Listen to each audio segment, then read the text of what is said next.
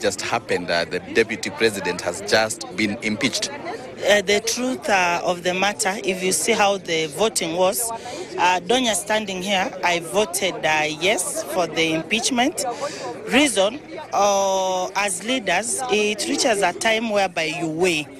Uh, you weigh your utterances, you weigh what you do, and uh, if we could not have uh, acted the way we did today, it would have uh, brought more se- uh, serious uh, issues, starting from having a deputy who doesn't respect the president, because we all heard the deputy president say, uh, "Mimi si mukora." You know, when you you you you dilute yourself, you you you sieve yourself and say mimi si mukora. It means there is someone who is uh, mukora. And even the bible says respect your your leaders or respect your bosses. Uh, th- there was disrespect if i can uh, quote it so.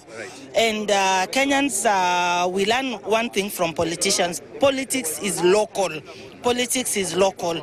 And when it comes to national politics, if you are a national figure, behave like one. So, uh, are you satisfied with the direction that the motion has taken? I voted yes. Yeah, I voted yes. You know, when you vote yes, you've affirmed.